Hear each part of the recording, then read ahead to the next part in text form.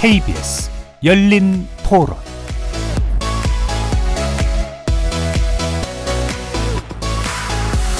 안녕하십니까. KBS 열린 토론 정준희입니다.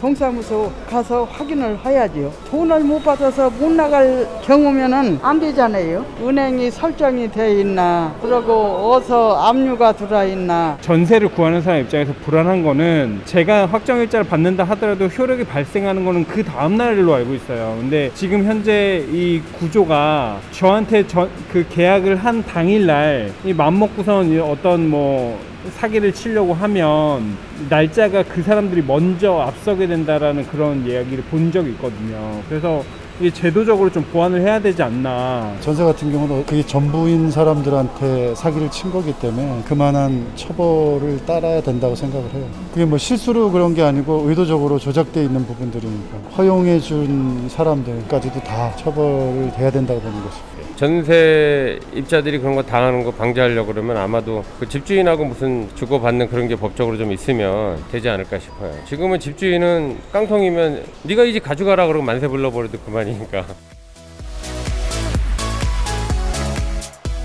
거리에서 만나본 시민들의 목소리 어떻게 들으셨습니까?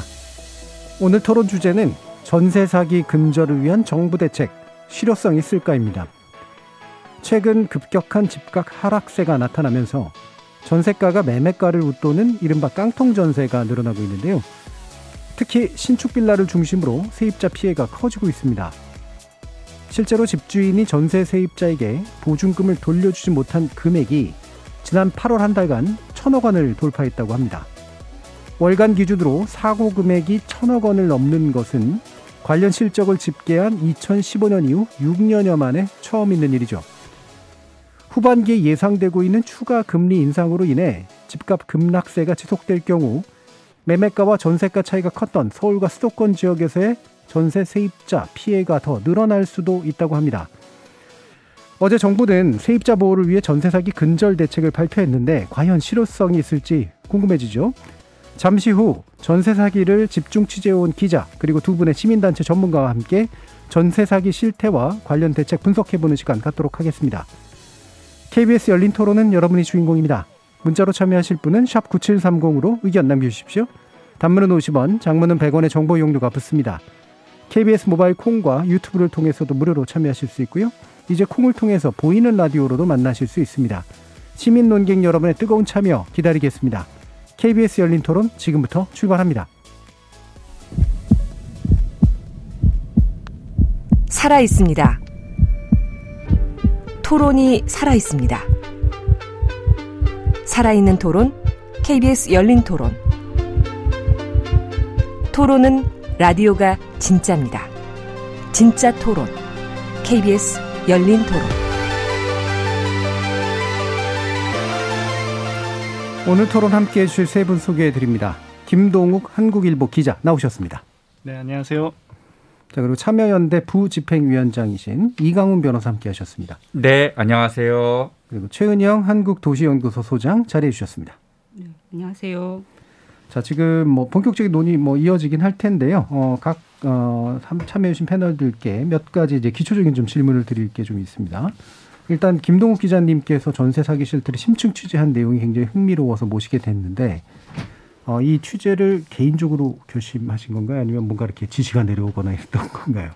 어, 뭐 지시보다는 최근 뭐, 뭐 이런 이슈가 있으니까 예. 한번 다뤄보자 이런 공감대가 있었고요. 예, 예. 그리고 뭐 잘 아시겠지만은 사실 이렇게 집값이 조정되는 시기에는 항상 이런 깡통 전세가 문제가 됩니다. 이제 음. 깡통 전세가 이제 전세값이 매매값보다 어, 같거나 이제 높은 뭐 그런 전세를 얘기하는데 근데 최근에는 좀 그 정도가 좀 달랐어요. 이제 그 세모녀 전세 사기 사건 예. 뭐 이런 거 그런 거 보면은 전세 사기가 이제 한 가정을 파멸로 몰아갈 수도 있다. 뭐 이런 음. 게 굉장히 심각성을 더했고 그래서 이렇게 전세 사기가 사기 중에서도 가장 악랄하다는 판단이 들었거든요. 예. 근데 최근에 그래서 이런 전세 사기 우려 기사가 뭐 기사를 통해 많이 쏟아졌는데 어, 이 보면은 좀 어, 잡히는 게 별로 없었어요. 그러니까 음. 이제 뭐 어떤 통계를 인용해서 전세 사기가 굉장히 우려된다 이런 건 있었지만 실제로 전세 사기가 어떻고 피해자들이 어떤 피해를 당하고 이게 어떤 구조로 움직이는지 이런 거는 좀 파악이 안 됐거든요. 예, 예. 그래서 저희가 아 이게 어쨌든 전세 사기가 요즘 문제가 되니까 어, 정말 어떤 게 문제고 어떤 실태로 돌아가는지 이걸 알아보자 뭐 이런 게 계기가 예, 됐습니다. 예. 그러니까 이게 그 사태 심각성만큼이나 심층 취재된 내용이 좀 부족하다라고 느끼셨던 게 아닌가 싶은데 말씀처럼 이제 그냥 갭투기 수준이었다가 인 것도 있고 그냥 사기와 어떤 실수 사이가 매- 애매한 부분 것도 있지만 대단히 목적의식적이고 조직적인 형태까지 많이 등장하고 있다 이렇게 네. 어, 취재하신 것 같아요. 예. 어, 어, 뭐 처음만 하더라도 어, 저희가 뭐 그렇게 조직적이다 뭐 이런 건 예. 알 수는 없었고요. 이게 뭐 그냥 일부 집주인의 뭐 일탈 행위인가 뭐 음. 이렇게 생각을 했어요. 그래서 근데 하다 보니까 아 이게 어떤 뭐, 뭐 정말 뭐 어떤 조, 조직이라고 해야 될 것 같은데 네네. 예, 좀 그렇게 움직이는 게 두드러졌고 음. 그래서 뭐 일부 집주인의 일탈 뭐 이렇게 보기에는 좀 힘들다 뭐 이렇게 예. 판단이 들었습니다. 알겠습니다. 또 뒤에서 또 아마 내용 좀 더 다뤄볼 수 있을 것 같고요. 제가 아까 이제 8월 기준 천억 원이라고 얘기했는데 이 부분이 이제 사기로 인한 금액과 그렇지 않은 부분까지도 아마 뭉뚱그려져 있긴 했을 것 같은데 좀 피해 규모는 어떻게 되는지 이강 변호사님께 좀 설명 예, 부탁드릴게요. 좀 전에 말씀하신 게 이제 한국주택도시보증공사가 실시한 예. 전세 보증 반환 관련해서 이제 이제 보증금 반환 사고가 발생한 거. 그거가 이제 올해 8월에 1,089억 원. 이제 건수로는 111건으로 집계가 됐거든요. 이게 이제 계속 늘어나는 추세인데 자, 몇년좀 추이를 좀 보자면 2019년에 3,442억 원이었고요. 예. 20년에 4,682억 원, 21년에 5,790억 원으로 계속 늘어나고 있는 예, 추세죠. 연간. 음. 올해 1월부터 8월까지가 벌써 5,368억 원이에요. 예. 예, 합쳐보면 2,527건으로 지금 신기록을 계속 경신하고 있습니다. 음, 그러니까 한 건당 사고 규모도 평균 2억 원이 좀 넘고요. 예. 그러니까 지금 어, 그 정도의 규모의 전세 사건의 전세 보증금 반환 위반한 사건들이 계속 늘어나고 있는 거죠. 예. 이게 다라고 생각하시면 안 되는 게 네네. 이건 보증보험 가입하는 데서 음, 발생하는 그렇겠죠. 사고건이고요. 예. 그렇지 않고 그냥 일반적으로 민사소송이나 이런 거로 음. 해결하고 있는 건도 굉장히 많아서 사실은 정확한 통계는 그 구- 이제 저 법원에서 사실은 소송 건수랑 그다음에 속가 같은 걸 좀 집계를 해봐야 이게 어느 정도 규모인지 정확하게 알 수 있을 것 같아요. 음, 이게 뭐 제가 잘은 모릅니다만 보증보험이 가능한 물건들이 네.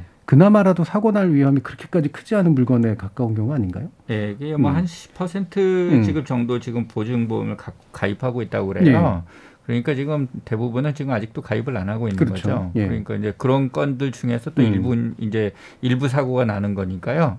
우리가 보면은 일반적으로 이제 사고 거기에 집계도 안 되고 있는 예. 지금 상당히 많은 건수들이 바깥에 있는 거를 알 수가 음, 있는 겁니다. 피해 규모가 이것보다 훨씬 클 것이 분명히 짐작 가능하고 이게 이제 늘어나고 있다라고 분명히 볼 수 있을 것 같은데 대략적으로 그 원인이 짐작하신다면 어떤 일단? 이렇게 지금 한국 주택도시보증공사 집계한 게 늘어나는 이유 중에는 예. 이제 전세 반환 보증 규모 자체가 점점 커지고 있기 때문에 그 거기서 이제 일어나는 사고 음. 건수가 이렇게 늘어나서 이제 집계되는 것도 있을 겁니다. 그리고 어 아까 기자님도 말씀을 해주셨지만 최근에 집값 하락 그다음에 또 최근에 전세 수요 감소 이런 거로 인해서 이제 보증금 반환을 제대로 못 해주는 사례가 네. 늘어나는 거 음. 이런 것들이 같이 겹쳐져 있지 않은가 생각합니다. 자 그럼 최 소장님께 뭐 좀 약간 뭐 이따가 이제 취재 결과도 한번 들어봐야 되긴 하겠습니다만 일반적으로 그냥 깡통 전세라고 부르는 것 또는 반환 실패 정도의 수준에 있는 것과 적극적인 사기라고 부르는 것들은 어떻게 좀 구별되는 지표 같은 것들이 있을까요? 예, 전세 사기는 사기의 의도를 가진 거니까 이거는 이제 범죄 행위인 것이고요. 그다음에 이제 깡통 전세 같은 경우에는 전세가율이라고 하죠. 매매가 대비 전세가가 높아서 전세금을 제때 돌려줄 수 음. 없거나 혹은 다 돌려줄 수 없는 이런 것들을 야- 이야기하니까 일단 이게 이제 규정하고 있는 범위 자체가 굉장히 좀 다르다고 생각되는데요. 전세 예. 사기와 깡통 전세는.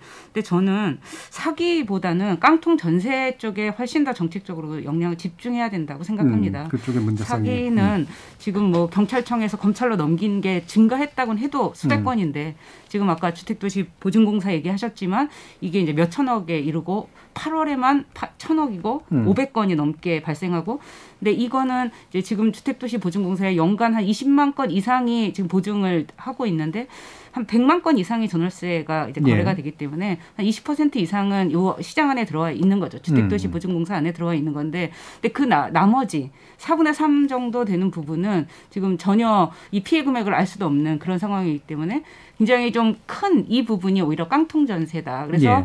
정책은 굉장히 사기로 접근하면 안 되고 음. 이제 그 깡통 전세라는 큰큰 것, 굉장히 좀 구조적인 문제잖아요. 예. 저도 이걸 주목하게 된 게 한 작년 정도인데 저는 그러니까 전세가 대비 매매가가 어느 시도는 평균해 보면 이게 100이 넘는 데가 나오는 거예요. 음. 아파트조차도. 그러면서 이제 전세 사기를 좀 들여다보기 시작을 했는데 이런 구조적인 문제 이렇게 지금 주택 시장이 어 하강 국면으로 되면서 이게 전세가 가 이렇게 굉장히 높을 수밖에 없었던 이유는 계속 매매가가 올라갈 거라고 생각을 해서 세입자들께서 좀 높더라도 어차피 매매가가 또 노- 올라가면 전세가율이라는 게 어, 유리니까 매매가가 높아지면 전세가율은 뭐 지금은 한 100%다 되는 것 같아도 네. 그러니까 매매가 3억, 전세가 3억이어도 매매가가 오르면 이 전세가율이 크게 문제가 없을 거여서 이것들을 높은 매매 전세가율에도 불구하고 전세를 얻으신 분들이 많거든요. 음. 근데 이게 이제 매매가가 떨어지면 이제 상당히 문제가 되는 깡통 전세가 본격적으로 문제가 되는 상황이 된 것 같습니다. 예. 뭐 일단은 기본적으로 사기라서 눈에 띄기는 하지만 구조적으로 어, 제도 안에 들어가 있지 못하고 보호받지 못하는 다수의 영역에 정책적으로는 오히려 집중할 필요가 있다. 뭐 결론부하고 또 연결이 될 것 같은데요. 어, 그래도 우리가 이제 그 집중시켰던 중요한 이유가 이제 아, 사기까지 이렇게 적극적으로 존재한단 말이야.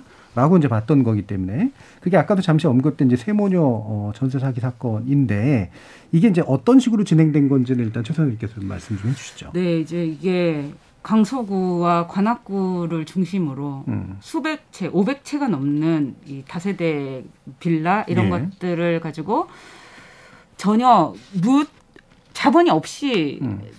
사는 거죠 집을 사실은 자본이 없이 사는 정도가 아니라 수수료를 받고 이게 집을 사면서 네. 수백 채를 그야말로 이제 매집하는 형태로 해서 그 그러니까 높은 전세가를 받았기 때문에 이 모델이 작동하는 건데 그러니까 뭐 굉장히 여러 사람이 이제 이거는 이제 사기라고 할 수가 있을 것 같은데요 의도적으로 음. 왜냐하면 전세금을 다시 반환할 의도가 거의 없이 이 뭐 뒤에 자세히 말씀하시겠지만 이제 바지 사장이라는 유형이 나오지 네. 않습니까 전세 사 예? 이제 그런 역할을 하시면서 500채 이상을 모으고 굉장히 많은 피해자들을 양상시킨 그런 음. 사건이었습니다. 예. 그러니까 일단은 이제 그, 그 빌라들을 이제 대규모로 매집을 한 다음에 어, 실제 매매값이 아닌 수준으로 매매값을 높게 부르는 식으로 포장을 시켜서 거의 매매값에 가까운 전세값을 받고 튀는 이제 그런 방식으로 이제 네. 진행된 어, 아마 사기에 가까운 이런 형태라고 볼 수 있는데 어, 이게 또 그 제가 이 기사도 보고서 놀랐는데 단지 아파트 단지 전체가 깡통 전세기다. 이 내용이 좀 나왔어요. 김동 기자님 어떻게 된 내용이에요? 네, 이게 인천 미추홀구 숭이동 숭이동에 있는 이 아파트 단지에서 벌어진 예. 일인데요. 이 저희 그도 보도를 했었는데 이 미추홀구가 이 전세 사기 의심 거래가 가장 많은 지역 중 한 곳입니다. 음. 근데 이 지난 6월 말에 그러니까 이 아파트가 이제 112 가구 규모의 아파트 두 개 동인데 예, 한 번에 법원 경매에 붙여졌어요. 네. 이게 15년에 2015년에 입주한 아파트거든요. 근데 이게 보니까 이게 가구마다 1억 3천만 원 안팎의 근저당이 잡혀 있었던 음, 겁니다. 음. 근데 여기 매매 시대는 한 1억 6천만 원 정도 수준이에요. 그러니까 음. 80%가 이미 저당이 잡혀 있는 거였습니다. 예. 근데 이 집주인은 두 명이 이 아파트를 전부 나눠 갖고 있었는데 전부 전세를 내줬어요. 그러니까 애초에 이제 매매 자체가 없으니까 여기 세입자들도 뭐 이 매매 시세를 모르니까 이게 적정 전세 시세가 적정인지 아닌지 몰랐던 음. 겁니다. 근데 여기에 전세가 한 8, 8천만 원 정도인데 평균 8천만 원 정도인데 세입자들도 처음에는 여기가 근저당권이 잡혀 있고 뭐 이렇게 하지만 매매 시세를 모르니까 뭐 중개업자들이 아 여기 근저당권이 이 정- 정도 잡혀 있어도 뭐 이 매매값이 뭐 이 정도고 이렇게 하니까 전혀 예, 뭐 예. 문제가 없다. 그렇게 해서 다 이렇게 들어갔던 거예요. 들어갔는데 이게 나중에 이제 뭐 집주인이 좀 문제가 돼서 이 경매에 한 번에 넘어가니까 이 세입자들이 이 전세금이 떼이게 생긴 거예요. 왜냐하면 음. 알, 알고 보니까 전세값 8천만 원이고 그다음에 근저당권이 한 1억 3천만 원 수준이지 음. 않습니까? 그럼 2억 1천만 원이면은 이 매매 시세가 한 1억 6천만 원인데 예. 이 경매에 들어가더라도 이 사람들 남는 게 없는 거예요. 네. 근데 이 그 주택 임대 보호법상에는 이제 무조건 최우선 변제금이라 그래가지고 이 주게 돼 있는데 이 지역은 한 4,300만 원 정도예요. 예. 그러니까 이분들은 경매에 넘어가더라도 그러니까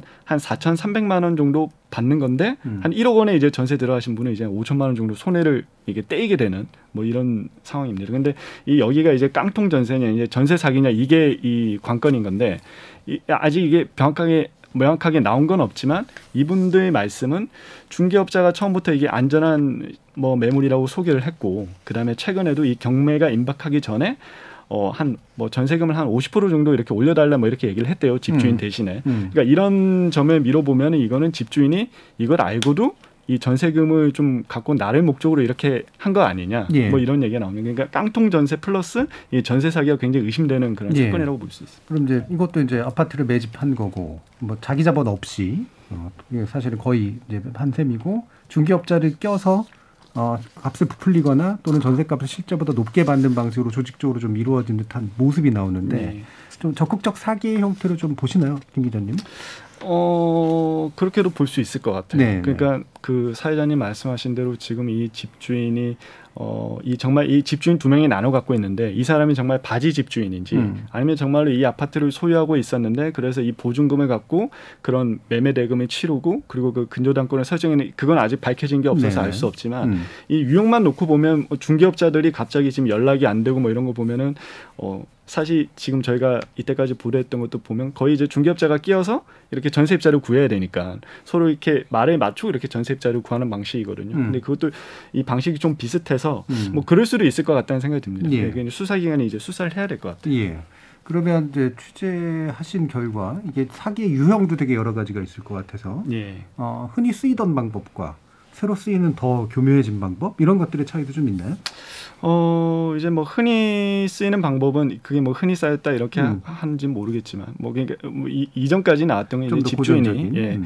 뭐 일단은 이제 보증금을 가지고 이제 내가 나를 목적으로 음. 뭐 중개업장을 짜는 거죠. 음. 본인이 이제 세금 체납액이 굉장히 많은데도 그런 게 없다고 속이고 세입자를 뭐 드리거나 뭐 그런 게 예전에 했던 방식이라면 최근에는 이제 좀 이 기존 제도를 이용해 가지고 하는 게 굉장히 좀 유- 유행처럼 번졌어요. 그래서 저희도 이제 업자들 말대로 보니까 그게 이제 강서구 화곡동에서 시작이 됐는데 하다 보니까 이게 굉장히 안전하면서도 돈이 되니까 예. 전국으로 퍼졌다 이런 얘기를 했었거든요. 음. 그래서 그게 이제 이 저희가 이제 기사를 통해서 했던 게 이제 동시 진행이라고 동시진행. 했던 건데 음. 어 그게 이제 그거는 이제 업자들 사이에서 이제 통용되는 말이고요. 그러니까 뭐 쉽게 말하면은 뭐뭐 무갭 투자입니다. 무갭 음, 투자. 음. 근데 뭐 좀 예를 들자면은 거의 이제 신축 빌라가 뭐 좀 중심으로 이루어지는데 이 신축 빌라를 빨리 팔아야 되잖아요. 건축주 입장에서는 빨리 건물을 세웠으니까. 근데 본인은 이제 1억 원에 팔려고 하는데 이게 빨리 안 팔리니까 거의 이제 중간에 이제 그 컨설팅 업자가 끼어서 1억 5천만 원에 팔아주겠다. 예. 그럼 그 컨설팅 업자는 그 1억 5천만 원의 전세를 내놓습니다. 음. 그리고 전세입자가 들어오면은 1억 5천만 원이 전세를 들어오면 1억 5천만 원으로 1억 원은 집주인을 주고 예. 나머지 5천만 원은 본인이 챙겨요. 음. 챙기고 그럼 이제 이 집주인 명의를 누군가에는 줘야 되잖아요. 본인이 이제 2년 뒤에 그 전세금을 돌려줄 수는 없으니까. 예.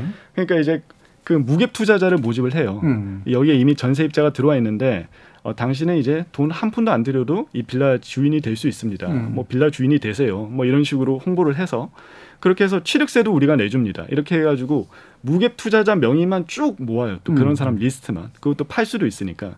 그렇게 해서 이제 바지 집주인이 그래서 등장하는 건데 음. 그래서 그 사람이 이제 들어와서 집주인이 돼요. 그 사람은 2년 뒤에 당신은 전세값이 오르면 그거 차익을 남겨도 되고 어쨌든 뭐 집값 오르면 또 이익 아니냐 뭐 이런 식인데 지금처럼 이제 집값이 내려가고 전세값이 내려가니까 이런 무갭 투자자들이 돈을 줄 수가 없는 거예요. 예. 그, 그 사람들도 애초에 속은 거예요. 자기가 음. 보니까 매매 시세가 1억인 줄 몰랐던 거예요. 음. 1억 5천만 원에 전세가 들어와 있는데. 그러니까 자기도 피해자인데 전세금은 돌려줄 수 없고 뭐 그렇게 해서 이제 그 사람은 돌려줄 수 없으면 이제 그다음부터 소송으로 가는 거거든요. 음. 이게 이런 방식이 제일 좀 대표적입니다. 예, 그럼 동시 진행이라고 하는 거는 이른바 이제 바지 사장 내지 그 실제로 아무것도 하지 않으면서 자기도 피해를 입게 된 그런 집주인과 예. 그다음에 피, 세입자 이 두 가지가 다 이제 피해를 한꺼번에 입는 그런 예. 의미로서 아마 쓰인 것 같은 예. 예, 느낌이네요. 이 규모는 혹시 파악이 되나요? 이런 피해 같은 거? 어 그러니까 이제 이 동시 진행만 딱 콕 집어가지고 이 정도 뭐 피해 규모다 이- 이런 건 알 수는 없, 없어요. 네. 없는데 그 최근에 이제 국토교통부가 경찰청하고 이제 처음으로 이제 단속을 했습니다. 음. 그 첫, 이 처음으로 자기네들 말로는 처음으로 단속을 한 건데 여기서 이제 1만 3천여 건의 전세 사기 의심 정보를 경찰에 넘겼습니다. 근데 여기에 연루된 집주인이 어, 1,034명이거든요. 예. 근데 여기서 상당수가 이런 동시 진행 방식을 활용했다고 정부가 설명을 했어요.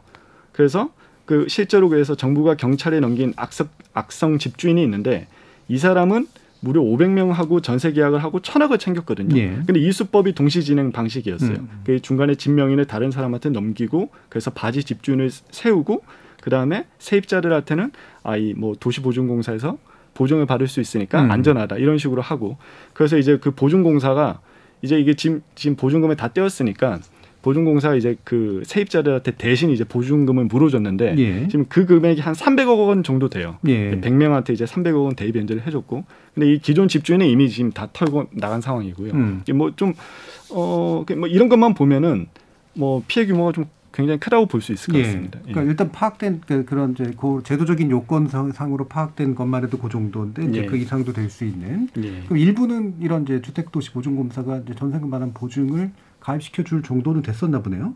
어, 대부분 이 음. 동시 진행을 설계를 할때 음. 무조건 보증이 가능하도록 설계를 합니다. 아, 설계 예. 자체를. 그러니까 왜냐면은 아무리 좋은 빌라여도 요즘 뭐 중개업소에 이렇게 전화를 하면 무조건 처음에 얘기하는 게 여기는 보증 가입이 가능하다고 음. 안내를 해요. 그런 예. 집이 아니면은 세입자들이 구해지지가 않습니다. 음. 그러니까 아무리 싸더라도 그런 집을 안 들어요. 예.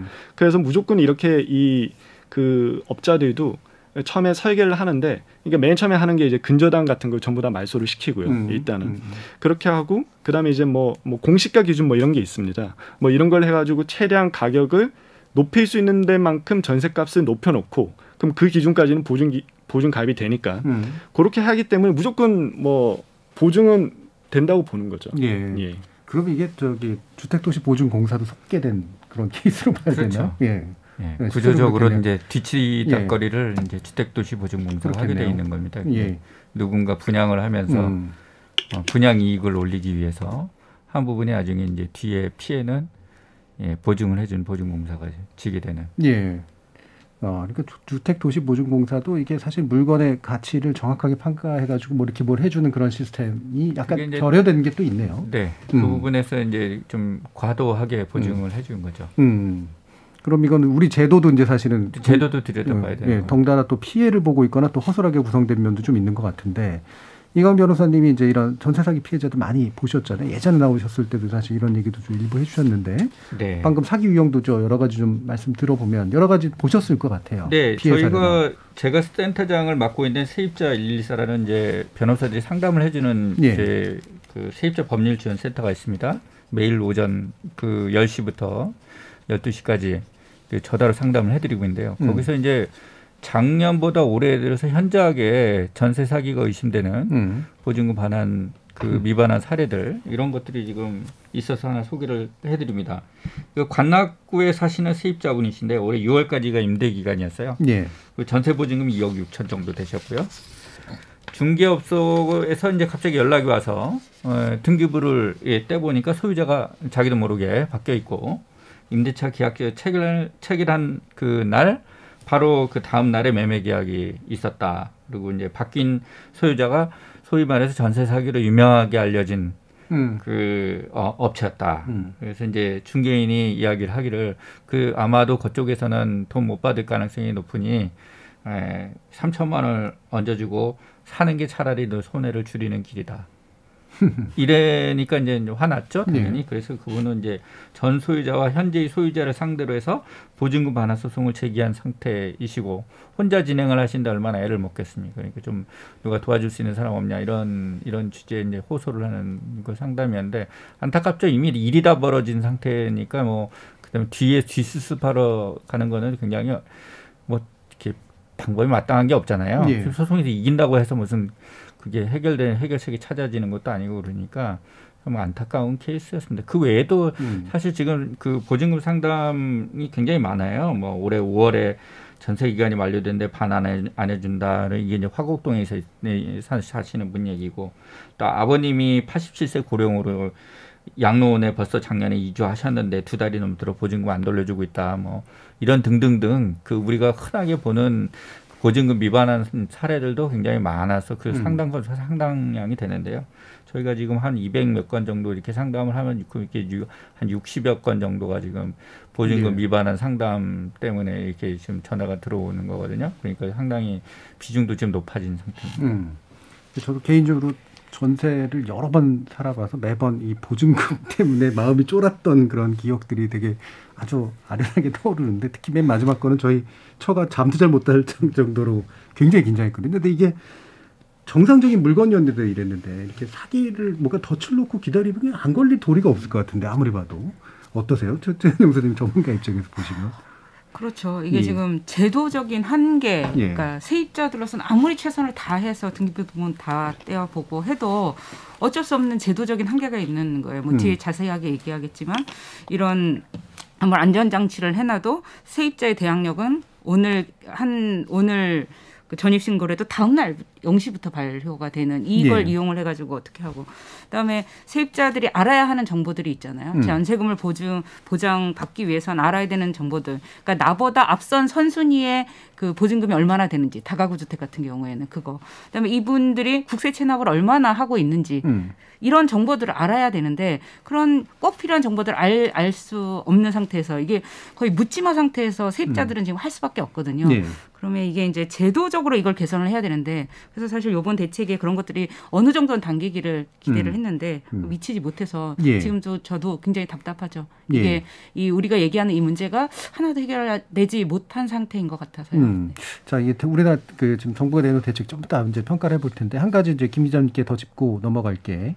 아마 이게 이제 뭐 아무리 사기 피해라고 하더라도 사실 수사를 통해서 뭐 형사적으로 판단받고 나중에 결과적으로 돈을 돌려받으리라 기대하기가 굉장히 어려울 것 같은데 구조적으로 그렇지 않습니까? 그 변호사님도 예. 말씀을 해주셨는데요. 그러니까 저희가 보니까 사실 보증을 가입하지 않은 이상 음. 보증을 가입하지 않아 가지고 보증기관에서 보증금을 돌려받지 못하면은 음. 이 사기친 집주인이나 그 사람한테 사실상 돈을 받는 게 저희 제가 판단하기엔 거의 불가능에 불가능, 가까워요. 예. 왜냐면은 그 뭐 일단 그 집주인 상대로 전세금 반환 소송을 걸어 걸면은 대부분 승소를 하는 것 같아요. 음. 승소를 하는데 그게 승소를 하면은 어 이게 내가 이 그 집주인 A 씨한테 돈을 받을 수 있는 권리가 생기는 거지. 예, 채권. 국가에서 강제로 그 집주인이 이 사람한테 돈을 줘 이런 게 생기는 건 아니거든요. 음. 그럼 그 집주인은 원래부터 돈을 등치려고 했던 사람인데 이 소송에서 졌다고 해서 돈을 줄 리가 만무해요. 예. 그럼 이 사람이 할 수 있는 선택지는 이 집주인의 이 재산 리스트를 조회를 해가지고 음. 재산이 있으면은 그걸 찾아가지고 경매를 붙여서 강제 경매를 해서 돈을 네. 찾아야 되는 방법인데 이미 이런 사람들은 뭐 세금 체납도 많이 돼 있고 만약에 다른 빌라에 세입자를 들였으면은 그 세입자가 뭐 전입 신고나 이런 걸 했으면 이미 그 사람이 선순위 채권자이기 네. 때문에 내가 강매 경제를 해도 저한테 남는 돈이 없습니다. 음. 그러면 이 피해자가 결국 할 수 있는 거는 이 집주인한테 뭐 골탕 뭐 좀 표현이 그렇지만 어떻게든 피해를 줘야 되니까 음. 신용 불량자 정도로 만들 수 있는 것 같아요. 예, 예, 예. 그러니까 뭐 이 사람 뭐 예금이라든지 이런 거를 해가지고 뭐 뭐 가압류 같은 거 건다고 하더라고요. 하면은 그것도 이제 바로 처리되는 게 아니어가지고 집주인이 아 이게 들어오면은 바로 그 예금 딴 사람한테 빼요. 그럼 빼면은 어쨌든 압류 들어온 걸 못 줬으니까 이 사람이 신용 불량자가 된다고. 그 저희가 저희한테 이제 제보를 주신 분이 7년 동안 해서 한 거는 그거 하나밖에 없다고 하더라고요. 네, 네. 경매를 해서도 돈을 못 찾고 뭐 아무것도 못 하고 결국에는 이 사람한테 해서 신용 불량자를 만들었는데 근데 그 사람은 신용 불량자여도 여도 이미 뭐 자기 아들이나 뭐 와이프나 이런 네. 명의로 뭐 카드도 쓰고 이렇게 하니까 그 지역에서 여전히 임대 지역 임대 사업자로서 활동을 하고 있다라는 거예요. 어, 심지어. 그러니까 본인이 그게, 그게 너무 화가 난다는 거예요. 자기 음. 명백한 피해자인데 아무 피해 복구가 전혀 안 되니까 음. 뭐 그런 좀 구조적인 문제가 있는 예. 것 같습니다. 그러니까 이게 이렇게 사기로 작심하고 이제 사기를 쳐서 이제 피해를 입히면 피해자는 발만 동동 구르고 실제로는 그냥 가해자를 범죄자로 만드는 수밖에 없고 범죄자 만들어봤자 실제로는 어, 정상인처럼 음. 활동하고 다니는 활개치고 다니는 그런 일들까지 생겨서 정말 아니할 말로 이제 미치고 팔짝 떠지 노르신 이제 그런 상태가 펼쳐질 것 같은데요. 그래서 정부가 어떤 식으로든 개입하지 않을 수가 없을 것 같은데 일단 전세 사기 근절 대책, 이 근절이라는 표현을 썼지만 실제로 근절될 수 있을까 궁금합니다. 그래서 청평을 한번 먼저 좀 들어보도록 하죠. 이광훈 변호사님부터. 네. 제가 지금 어, 좀 전에 최, 예, 최은영 소장님도 말씀을 좀 하셨는데 전세 사기라는 건 그 사기 자체가 처음부터 의도가 있었던 거기 때문에 네. 예, 그 그렇게 의도를 갖고 한 건은 전체 건수에서 과연 몇 퍼센트나 될까 이렇게 음. 따져놓고 보면 이제 전체 이 문제가 될 만한 건들의 극히 일부분일 네. 것이다라는 측면에서 이제 너무 좁은 범주로 사건의 초점을 음. 그 제한하는 측면이 있습니다. 그래서 보증금 반환 문제에 관한 그 전체 구조적인 문제를 해결하겠다는 접근 방법을 취하려면 이렇게 좁게 설정해서는 조금 이제 곤란하겠다 음. 그런 생각이 좀 들고요. 그다음에 저희가 이제 쭉쭉 이렇게 평가를 지금 총괄 하자고 얘기를 하셨으니까 전체로 제 나열된 한 가지수가 굉장히 많은데 문제는 실효성 있게 내가 돈을 돌려받을 수 있겠다. 음. 이런 대책은 또 거의 없어요. 예. 되게 대체로 이제 예방 대책인데 예방 대책들도 딱 맞는 그런 대책들은 좀 아니었다. 음. 이런 측면에서 이렇게 소, 우리 이제 그 일반 세입자들이 보기에는 좀 아쉬운 예, 그런 상황이라는 거죠.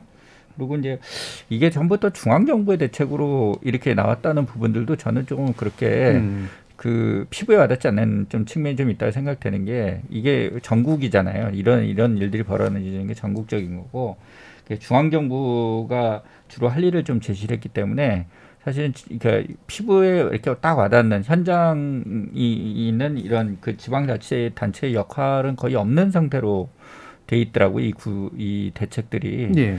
그래서 저는 좀 그런 부분들이 이렇게 실효성을 갖는데 조금 어려움을 갖게 되지 않겠느냐 이런 좀 생각을 하고 있습니다. 예, 전체적으로 보면 아까 최 소장님도 지적해 주셨듯이 이제 전체 중에는 심각성은 있지만 이제 퍼센티지는 덜한 이제 사기 문제에 좀 지나치게 집중하는 경향이 있고 그러다 보니 이 보증금 반환을 실질적으로 가능하게 만드는 전체 구조를 짚지는 못하고 있고 예방 위주로 한다지만 이제 예방 그러니까 실제 피해 구제는 없고 또 예방도 예방이 잘 될까 실효성에 대한 의심도 드시고요.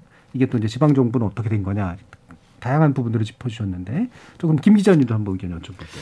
어, 예. 뭐 저는 일단 어, 이, 그 정부에서 이제 처벌을 강화한다 뭐 이렇게 했었는데 이 사실 제일 필요한 게 이 좀 처벌 강화가 좀 필요하다고 생각을 하거든요. 예. 왜냐하면 이게 전세 사기가 이 가해자를 가려내는 게 굉장히 구조적으로 어렵습니다. 이게 기존 건축주는 어, 나는 저 컨설팅 업자가 얘기해서 한 거다 이렇게 할 수 있고 컨설팅 업자는 우리는 말 그대로 컨설팅을 한 거다 전세 값을 높게 컨설팅을 한 거다 그럼 그 바지 집주인은 나도 피해자다 뭐 이런 네. 식이거든요 음. 그래서 저희도 이제 보도를 할 때 이제 그 동시 진행만 하는 업자들이 있는데 그 카톡방에 보면은 자기네들이 그걸 사기인 걸 알면서도 음. 과연 누가 잡혀갈까 이런 말들을 많이 해요 예. 그래서 이 동시 진행을 하면은 교도소에서도 동시 진행이 생길 거다. 음. 이 사진을 찍어가지고 예. 그 그런 식으로 그- 그만큼 횡행하고 이 사람들도 뭐 이게 범죄인 건 알지만 과연 우리 잡아갈 수 있겠냐 뭐 이런 게 있거든요.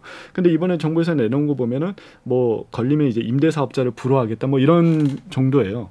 그래서 제가 볼 때는 이게 좀이 정부에서 이제 사기죄로 경찰청에서 사기죄로 이제 음. 좀 수사를 하겠다 이렇게 했는데 그 근거가 명, 명확하지 않고 실제로 그렇다 보니까 법원에 가서도 이, 아, 이 검찰 수사도 굉장히 느린데 좀 그런 부분을 좀 명확하게 해서 이 전세 사기를 하면은 사기죄로 걸릴 수 있다. 그래서 음. 실제 처벌로 이어질 수 있다. 이런 게 좀 있어야 어 이렇게 좀이 이런 업자들도 처음에 좀 약간 예방하는 효과도 생기고 음. 실제 피해자들도 아 그래야 이게 정말 민사로만 하는 게 아니라 형사로 어떻게 해결할 수 있는 그런 길이 생길 수 있다고 보거든요. 예, 예. 그런 부분이 좀 아쉬운 것 같습니다. 예, 그러니까 다른 두 분이 또 사기 문제 상대적으로 적은 부분이라고 얘기해 주셨지만 그래도 사기 문제로도 보면 제대로 된 처벌도 안 되고 제대로 된 이제 수사도 잘 안 되는 그런 수준에 아직 머물러 있다. 또 이렇게 보셨네요. 자, 아까 최 소장님이 이제 총평 또 해주시기도 하셨으니까 그럼 다시 한번 또 덧붙인 말씀 있으면 해주시면서 특히 이제 예방 문제가 좀 이게 예방 잘 되지 않는 예방인가 이 부분에 대한 평가도 해주시죠. 네, 일단 총평을 저도 좀 하면 일단 디테일이 없고요. 그래서 얼핏 보면 대책인 듯한데 가, 자세히 보면 대책이 아닌 그런 네. 대책이라고 보여지고 매우 좀 지시형 대책이라고 저는 평가를 할수 음. 있을 것 같은데요. 정부가 뭘 한다라기보다는 의무를 은행, 은행한테 뭘 하라고 하고 예. 그다음에 그 부동산 중개인에게 뭘 하라고 하고 근데 이거는 사실 정부가 더 나서야 될 일이라고 생각이 되는데 예를 들면 뭐 이 피해 입은 분들에 대한 임시 이주 대책 같은 경우도 주택도시보증공사의 천체를 가지고 하라고 하고 중앙 정부가 뭘 해야 되거든요. 예. 그런 점에서 저는 디테일이 없고, 그러니까 아까 이제 디테일 없다는 점, 그러니까 뭐라도 바뀌어야 되는데 우리가 아까 이, 이 전세 깡통 전세 문제와 관련돼서 세입자가 겪- 겪게 되는 문제가 얼마나 심각한지는 아 뭐 다들 짐작을 하실 텐데 그러면 뭐라도 하나라도 바뀌어야 되는 음. 거거든요. 그러니까 예를 들면 이 길 날 바뀌는 문제를 그럼 이걸 어떻게 할 거냐?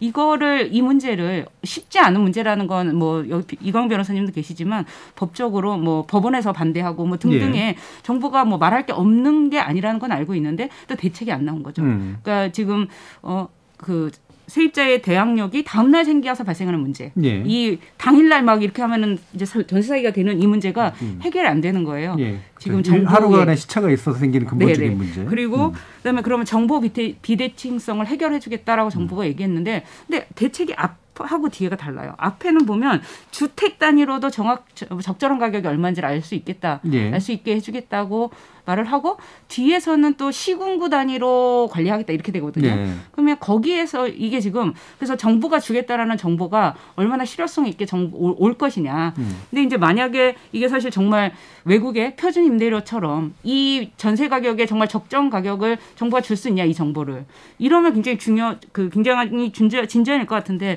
저는 지금 상태로 줄 수 없다고 생각을 하거든요. 왜냐하면 정부 대책에 그 방법이 그 목표에 이르는 방법이 나와 있잖아요. 대책이 음, 음. 그런 점에서 좀 실효성이 없다고 총평을 할 수밖에 없을 것 같습니다. 예. 일단 이제 뭐 지나치게 자기가 뭘 하겠다는 게 아니라 너희 너희들이 뭘 해라 이런 쪽이었고. 그다음에 정보를 뭔가 비대칭성 해소시켜 주겠다는데 디테일한 정보를 구할 수 있는 다르고요. 방책도 네. 아닌 것 같고 이런 총평도 해주셨고 특히나 이제 예방 대책에서 이제 안심 전세 음. 앱 구축이라든가 네. 임차인 정보, 임대인 정보, 그러니까 임차인이 이제 임대인의 정보를 정확하게 보게 하는 거 이 부분이 실질적인 정보가 안 담길 수밖에 없는 구조라는 말씀이죠. 근데 예를 들면 지금도 정보가 없는 게 아니라요. 음. 사실은 뭐 실거래가 우리나라는 다른 나라에 없는 실거래가 정보가 지금 공개되어 있거든요. 네네. 그래서 매매가가 얼마인지 그다음에 전세가가 얼마인지 음. 알수 있어요. 그런데 그 결국에는 그 정보들을 뭐 분석하고 이런 능력이 아마 개개의 세입자가 쉽지 않으실 거고 정보가 없는 예. 게 아니라 음. 그러면은 이걸 정부가 어떻게 연결해서 줄 건가. 근데 이 이제 앱, 앱이라는 말이 되니까 이게 만사가 되는 게 아니라 정말 지금 당장 정부가 정부가 이게 굉장히 심각한 문제잖아요. 저희가 분석을 해보면 전국 공동주택 단지 아파트와 연립다세다를 분석을 해보면 한 40% 잔, 정도가 전세가율이 80%를 넘어요. 그러니까 주택 가격 대비 깡통 전세 우려가 있는 게 뭐 그냥 한두 건이 뭐 몇 몇만 건 정도가 아니라 전체 한 40%가 이렇기 때문에 세 입자의 한 절반 가까이가 이 문제를 지금 겪고 있는 문제거든요. 음. 그러면 정보를 당장 제공하려면 할 수 있어요. 왜냐하면 실거래가가 다 있으니까요. 근데 이거를 왜 내년 앱으로 구축하고 이렇게 계속 미루고 그리고 그때 주겠다라는 정보는 사실 좀 불확실하다고 생각하거든요. 예. 정부가 신축 주택의 정보가 지금 어렵다라고 돼 있어요. 그러면 신축 주택을 어떻게 할 건지가 나와야 되잖아요. 음. 그런 디테일이 없는 거죠. 그리고 그 뭐 지금 이제 공시가격의 150%까지 주택도시보증공사에서 보증을 하기 때문에 굉장히 어 원래의 지- 실주택 가격보다 과도하게 지금 보증을 하는 문제는 150에서 140으로 이제 낮추겠다라는 정도가 이제 좀 그나마 디테일하고 실효성이 있는데 음. 근데 제가 계산을 해봤어요. 140%로 낮추면 그래도 지금 공시가 현실화율이 70%이기 때문에 계산하면 지금 주택 가격의 100%다 주택도시보증공사가 보증을 하는 거거든요. 음. 근데 이제 오늘 우리가 보증 얘기가 계속 나왔는데 그럼 이게 주택도시보증공사가 또 늘리는 게 무조건 능사냐? 결국 주택도시공사의 대입 변제로 음. 인한 책임은 결국은 국민 세금으로 하는 것이거든요. 예. 그런 면에서 정부가 좀 더 고민했다면 이걸 더 낮췄어야 된다고 생각합니다. 150보다 150에서 140으로 낮추는데요. 공시 가격에 더 고민을 해- 했으면 이거보다는 더 낮췄을 것인데 그렇지 않는 뭐 예. 매우 아쉬운 점들이 있습니다. 예, 예. 어, 뒤에서도 아마 깡통 전세 문제를 좀더 짚어볼 수 있을 것 같고 일단 뭐 말씀 주신 것에 아주 핵심적인 내용만 보면 이미 가용한 정보도 있는데 실거래가라든가 이런 거를 당장부터 할 수 있는 것들을 왜 당장 안 하는지도 궁금하고 당장 공개된 정보에서 사실 그 저- 자체만 중요한 게 아니라 분석과 해석을 통해서 우리가 판단해야 되는 것도 중요한데 이 부분이 이제 비어 있고 신축 같은 데는 정보가 없으니까 모르겠다라고 이제 일단 남겨둔 그런 상태고 그래서 정보도 상당히 충분하지 못하게 지금 돼 있다. 그래서 그게 예방이 가능하냐 이런 이제 문제 제기를 해준 거네요.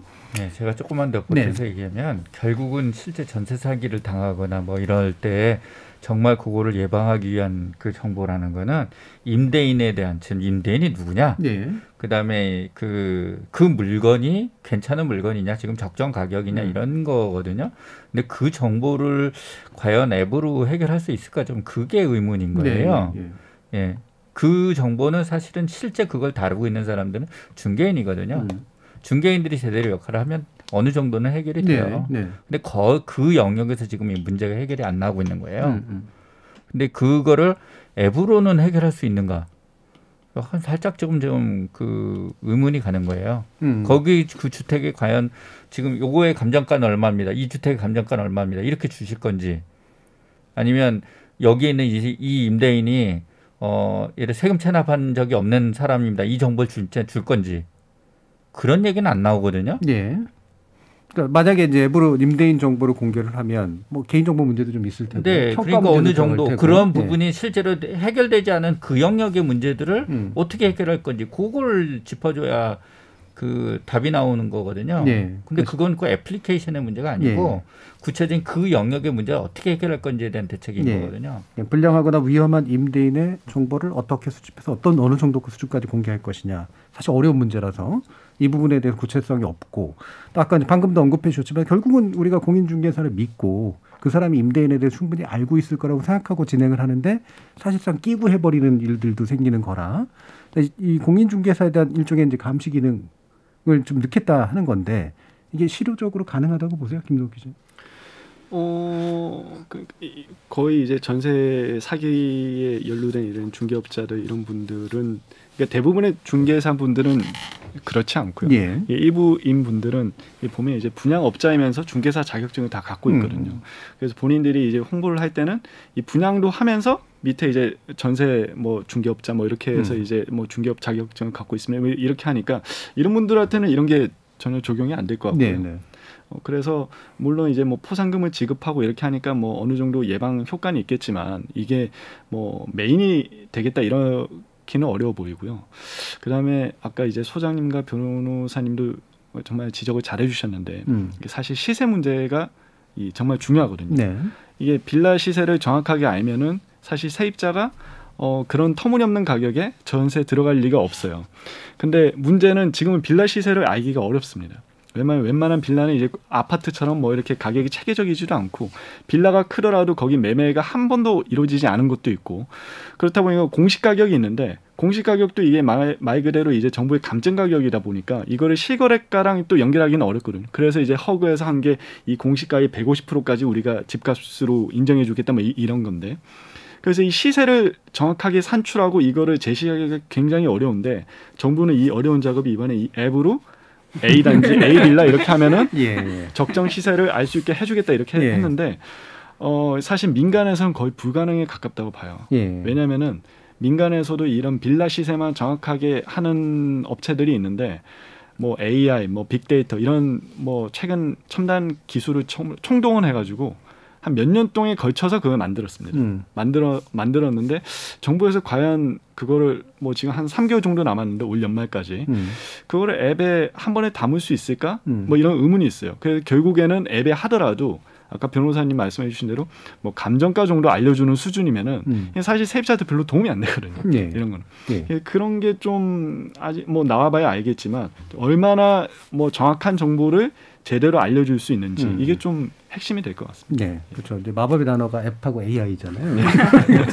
예, 네, 그거 깔고 돌린다고 해가지고 이제 믿을 만한 정보가 막 이렇게 입수되는 것은 아니다라는 점. 자, 그럼 또 이제 그 지금 임대인 얘기 나왔고 중개인 얘기 나왔는데 임차인에 대해서는 그럼 어떤 대책이 있는지와 그게 실제로 실효성이 있는지 이광 변호사님 말씀 주시죠. 이제 이번에 이제 정부에서 최우선 변제금을 상향하게 뭐 해보겠다. 음. 이거는 이제 앞으로 논의하겠다는 겁니다. 그래서 이제 이거는 신중하게 그 여러 가지 거를 경제 상황을 고려해서 지금 해야 되기 때문에 앞으로 논의를 할 거라서 음, 일단 조금 지켜봐야 될 것 같습니다. 예, 예. 그 외에 이제 뭐 임차인이 아까부터 계속 말씀드렸지만 대항력에서 좀 문제가 있잖아요. 음. 임차, 임, 이- 임차인이 입주한 날 그날 바로 이렇게 대항력이 발생하지 않고 그 다음 날 이렇게 발생하게 지금 해놓다 보니까 그래서 이제 이게 표준 계약서를 개선해서 이제 담보권 설정 가능 시점 이제 명시하게 하겠다. 예, 예? 그리고 뭐 인증을 통해서 요 네. 활용률을 좀 제고하겠다. 그다음에 뭐 대출 절차를 좀 보완해서 은행이 RTMS라는 이제 정부에서 설, 이제 한 이제 서버죠. 거기에 이제 데이터베이스에 접속을 해가지고 확정 일자가 있는지 없는지 이런 것들 미리 확인하고 대출을 하게 하겠다. 요런 식의 이제 대책들을 이제 발표를 했습니다. 그래서 이제 우선 뭐 제가 최우선 변제금 상향은 적절한 범위 내에서 여러 가지 논의를 거쳐서 상향하면 좋겠다는 생각인데 요건 뭐 제 개인적인 생각은 있지만 지금 뭐 이렇게 여기서 그걸 깊이 얘기할 건 아닌 것 같고요. 예. 대학력 보강 방안은 제가 보기에는 조금 요게 좀덜덜 구체적이고 또 이게 그렇게 정확한 방법도 아니라고 생각이 됩니다. 실제 이제 대학력이 이 다음날 생기는 것 자체가 문제라서 지금 그 이런 일들이 벌어졌으면 그 대학력을 어떻게 실시간으로 음. 발생하게 할 거냐. 그걸 제시를 해야 되는데 그런 방법을 싹 빼놓고서 나머지 얘기하니까 뭐 좀 허탈해지는 거죠. 예, 그 방법이 없는 게 아니에요. 저는 음. 사실 이 방법에 대해서 저도 몇 년 동안 생각을 해봤거든요. 음. 근데 요거를 이제 RTMS하고 그 은행 이제 법원의 등기를 서로 상호 연동시키면 돼요. 음. 근데 그걸 누가 반대하냐? 법원이 반대해요. 예. 예, 수년 동안 법 정부에서 그걸 요구를 했는데 음. 은행 저 등기를 관장하는 대법원에서 등기에 대한 어떤 그런 개인 정보라든지 이런 것들이 한꺼번에 이렇게 막 유출이 되는 그런 방거를 우려해서 음. 그거를 일단 거- 걱정을 하고 안, 안 해요. 응하지 않고 있어요. 그러면 거꾸로 거꾸로 할 수도 있어요. 예를 들어 확정일자 정보를 거기다 바로 보내가지고 네. 등기에다 통합을 시킬 수도 있어요. 음. 그런 방법을 논의를 제대로 안 하고 있다는 거죠. 예. 구조적인 대책을 논의를 해서 이 문제를 해결할 문제, 해결해야 되는 문제를 이렇게 정확하게 짚어야 되는데 그런 얘기 안 하고 그 정, 그 은행, 은행이 RTMS에 접속해서 이걸 확인하도록 하겠다. 이거는 좀 아닌 것 같아요. 음. 임대인의 권리, 임차인의 권리를 향상시키는 방식으로 이걸 좀 접근하는 게 전공법이다. 저는 음. 좀 그렇게 생각합니다. 예. 자, 일부가 시간이 좀 많이 갔는데 이건 짧게만 그최 소장님으로 언급해 주시면 전세 사기 피해자 지원 대책이 지금 긴급 자금 대출, 그다음에 임시 거처 지원 정도로 지금 나오는데요.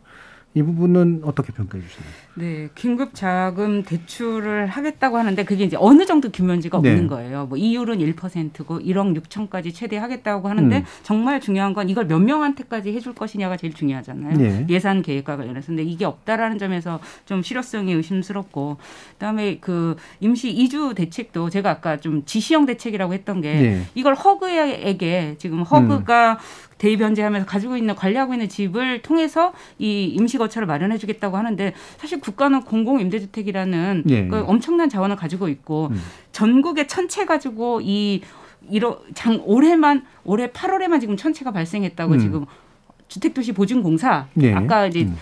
서두에 그렇게 얘기하셨잖아요. 이런 정도 규모로 전세 사기가 전세 깡통 전세가 발생하고 있는데 전국에 천채를 관리하고 있거든요. 주택도시 보증공사가 예. 이걸로 대책이 될 리는 만무하지 않습니까? 음, 음, 음. 그런 점에서 좀그 소, 그새 임차인들의 사고를 당하신 임차인들에 대한 보호 대책도 좀 미비하다라고 평가할 수밖에 없을 예. 것 같습니다. 뭐 없는 것보다는 낫겠지만 있는 있, 있는데 특별히 딱, 딱히 나아 보이지는 않는 네.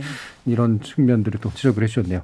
자, 그러면 일부 순서는 이렇게 좀 약간 길게 했습니다만 지금 정부 대책들을 전반적으로 좀 평가해 보고요. 실제 사건들에 대해서 언급을 해봤는데 근절하기 위해선 근본을 좀 들여다봐야 되겠니까 이어지는 2부에서 근본적으로 전세의 문제가 무엇인가를 한번 짚어보도록 하겠습니다. 여러분은 KBS 열린 토론과 함께하고 계십니다.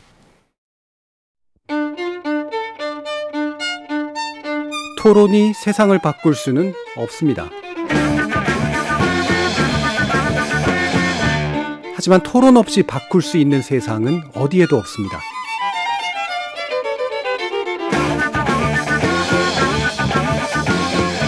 세상의 선한 변화를 갈망하는 당신.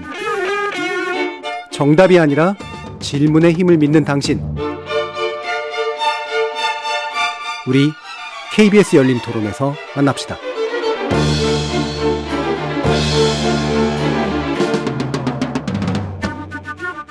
KBS 열린 토론 전세 사기 근절을 위한 정부 대책의 실효성 따져보고 있는데요. 참여연대 부집행위원장이신 이강훈 변호사, 최은영 한국도시연구소 소장, 김동욱 한국일보 기자 이렇게 세 분과 함께 하고 있습니다. 자, 아까 이제 처음부터 말씀을 열 때도 최은영 소장님은 깡통 정세 문제 그리고 좀 더 구조적인 문제에 집중을 해야 된다 이렇게 이제 말씀을 주셨기 때문에 다시 좀 열어봐야 될 것 같은데 근본적으로 사실 전세가 존재해서 생기는 문제 아니겠습니까? 근데 우리나라 되게 독특한 있죠 사적 금융의 형태인데 워낙 좀 크기도 크고 그래서 근데 이거를 근본적으로 단기간에 없앨 수 없다면 어떤 것이 좀 더 근본적인 문제를 좀 짚어봐야 되는지. 이 우리 오늘 계속 주택도시 보증공사 예. 얘기를 하잖아요. 이 보증을 언제 시작했을까? 2013년이거든요. 예. 그때 결국 박근혜 정부 때 빚내서 집사라는 정책과 이게 연동이 되어 있는 거예요. 빚내서 세살라는 정책. 네. 그러니까 사실 결국 전세라는 건 개인과 개인 간의 돈 거래잖아요. 집을 담보로 한. 그렇죠. 그 거래인데 이거 원래 은행에서 이제 대출을 해주던 걸 은행에서 전세 빚을 많이 내서 하면 은행도 대출을 잘 안 해주는 것 같으니까 또 그 보증공사를 제3자를 하고 이렇게 빚을 많이 낼 수 있게 만든 구조거든요. 이 이게 예. 지금 제가 아까 빚내서 집사라와 빚내서 세 살라는 정책이 상당히 연동되어 있었고 음. 결국 이게 전세값 올라가고 집값 올라가고 전세값 올라가고 집값 올라가는 이 악순환을 만들어냈다고 저는 이제 구조적으로 생각을 하는데요. 예. 그래서 결국에는 굉장히 중요한 게 이제 우리 가계부채 문제가 굉장히 좀 심각해지는 상황으로 다른 어떤 나라보다도 급격하게 증가하는 상황으로 왔는데 그럼 전세를 계속 이렇게 빚을 내서 전세를 살게 살게 할 것이냐? 지금 사실은 전세 보증금은 예전에는 그게 그냥 전재산이었는데 지금은 전재산 플러스 은행에서 빌린 돈이기까지 네. 하거든요. 그럼 이 구조를 조금은 이제 이번 참에는 이번 기회에는 그뭐 이광 변호사님이 나중에 자세히 말씀하시겠지만 이 부분 고민 많이 하셨기 때문에 계속 이렇게 빚을 내서 전세를 살게 하는 구조를 좀 이번 기회에는 좀 해결을 해야 되지 않을까 싶습니다. 음, 참, 이- 그, 참 어려운 문제인데 네, 그렇죠. 당장 전세 자금을 필요로 하는 사람들이 있으니까 대출을 받으면 좋아하지만 음. 이렇게 뭔가 대출을 일으켜서 자꾸 집을 사기도 하고 전세라도 하는 이 구조 이거를 이제 국가가 좀 책임져 주는 구조 이게 좀 바람직한가 이 부분 좀 짚어주셨고 이광훈 변호사님 은 어떤 부분을 좀 구조적으로 짚고 일단 싶으세요? 이제 피해를 막기 위한 방법이 이제 사후적인 대책은 그렇게 큰 도움이 안 된다라는 거를 네. 지금 여러분들이 이제 지적을 해주셨거든요. 음. 그래서 이미 깡통 전세를 이용하겠다고 이게 작정을 하고 어떤 예를 들어 그걸 대해서 무갭 투자를 하겠다 이런 음. 사람한테는 사실은 뭔가 그런 것들이 가능하지 않도록 하는 그 구조를 만들어야 되지 않겠습니까? 근데 그거 중에 일단은 전통적으로 보수 쪽에서도 이렇게 수용할 수 있는 가장 그 기본적인 게 뭐냐면 정보의 투명한 유통이에요. 그 시장에 정보가 투명하게 유통이 되면 그런 피해를 상대적으로 줄여 나갈 수 있는 거죠. 근데 그 부분에 대해서 이제 보- 어, 어떤 지금 현재 저- 정부가 좀 약간의 보수적인 시장 정책을 갖고 있으니까 그럼 최소한 그그 논리라도 정확하게 좀 지켜줬으면 좋겠다. 예를 들어 그것이 이제 어, 우리가 했던 정보의 예, 시장에서의 정보 불균형, 임 임차인 임차인과 임대인의 시, 정보 불균형을 해소해줘야 되는데 이 정보 불균형 어디서 발생하냐면 임대 이 임대차를 하는 데서 보증금을 못 돌려받을 가능성이 있는지 여부는 사실 집 가격하고 예. 그다음에 내 내가 가지 내가 이렇게 들어가려고 하는 전세금 크기하고 그다음에 어, 예, 앞으로의 이제 뭐 경기 전망 뭐 이런 것들 여기 이런 것들이 한 측에 관련이 돼 있고 그다음에 이 사람이 벌써 신용이 원래 안 좋은지 그 이 임대인이 그러니까 예전에 뭐 세금 체납한 게 있는지 이런 것들이 하나의 어떤 지표가 될 수 있는 거잖아요. 그런 것들 중에서 어떤 거를 공개해서 그 임차인이 그 사람의 신 예, 어떤 신용 상태에 대해서 이 사람이 안 좋은 사람이구나, 예, 안- 여기 들어가면 안 되겠구나 이런 걸 알 수 있게 해주는데 어디까지 그걸 허용할 거냐. 음. 결국 그 문제거든요. 거기에 빠져 있는 상태에서 임차인은 이 상대방에 대해서 모르면서 거래를 하는 거예요. 그렇죠. 예. 예. 그리고 돈을 그 큰 돈을 갖다 맡긴단 말이에요. 네. 집 가격에 우리 임대인이 갖다 거기다가 투자한 가격보다 훨씬 큰, 큰 금액을 거기다가 예를 들어 어, 그 전세 보증으로 갖다 준다는 거죠.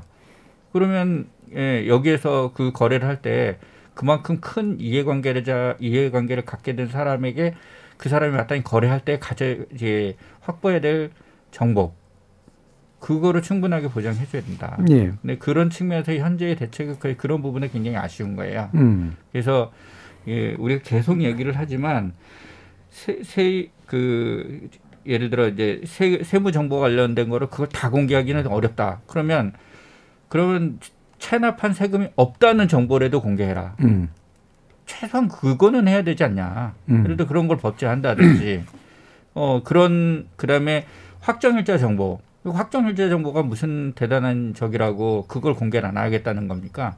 저는 그거 참 이해가 안 가거든요. 음. 계약하기 전에 봐야 되는 정보예요. 그래야지만 그 집에 뭐 걸려 있는지를 알 수 있기 때문에 지금 이게 사실은 물권적인 기능을 하잖아요. 지금 이 임차 보증금이 확정일자 있는 임차 보증금은 사실 거의 물권에 가깝게 취급을 네. 하고 있거든요.